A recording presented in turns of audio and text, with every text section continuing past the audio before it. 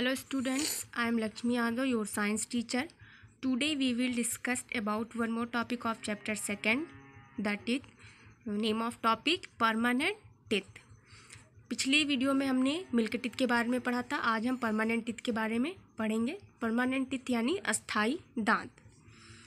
तो आज हम अस्थाई दांत के बारे में रीड करेंगे। New teeth start growing and pushing out the milk teeth when a child is about seven year old जब बच्चा सात साल का हो जाता है तो नए दांत जो है वो बढ़ने लगते हैं और दूध के दांत बाहर निकल आते हैं। These are call permanent teeth इन्हें हम अस्थाई दांत कहा जाता है, इन्हें अस्थाई दांत कहते हैं because they are suppose to last for life but only if one look after them क्योंकि ये जीवन के अंत तक हमारा सपोर्ट करते हैं, लेकिन केवल अगर इनकी देखभाल करें तब। Like the milk teeth the permanent teeth to grow in stage दूध के दांतों की तरह अस्थाई दांत भी हमारे जो है वो चरणों में बढ़ते हैं स्टेज में बढ़ते हैं। Usually all but the last four appears by the time a child is twelve year old आम तौर पर सभी, लेकिन अंतिम चार जो होते हैं वो बच्चे के बारह साल के होने तक निकलते हैं। अपीयर्स मतलब निकलना। The permanent teeth are different from the milk teeth in number as well as in types अस्थाई दांत जो होते दूध के दांतों से अलग होते हैं नंबर में और प्रकार में भी।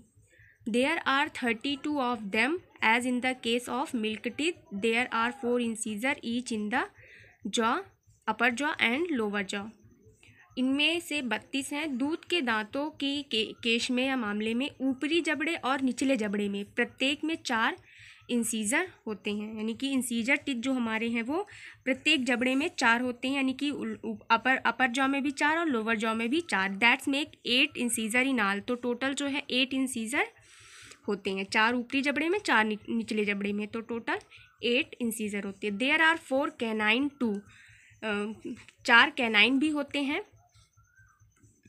Then there are four canine too यानी कि चार कैनाइन भी होते हैं। One on either side of the incisor in each jaw जो है वो प्रत्येक जबड़े में इंसीजर के दोनों तरफ़ एक एक होते हैं। यानी कि जो हमारा कैनाइन है वो इंसीजर के दोनों तरफ़ होता है। एक एक इंसीजर होते हैं। Then there are the premolars and molars the big chunky teeth at the back of the mouth फिर मुँह के पिछले भाग में प्रीमोलर्स और मोलर दांत आते हैं जो हमारे बड़े और चंकी होते हैं। They are meant for chewing and crushing ये जो है हमें भोजन को चबाने और पीसने के लिए होते हैं।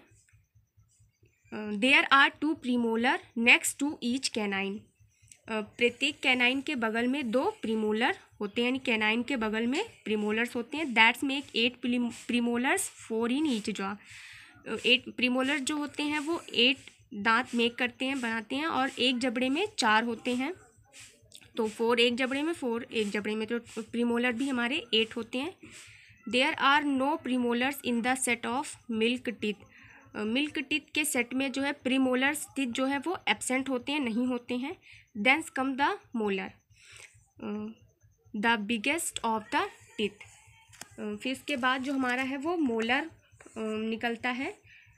तो जो दांतों में सबसे बड़े, बड़ा होता है मोलर, जो हमारा टीथ होता है, वो बिगेस्ट टीथ होता है और बैक में पाया जाता है।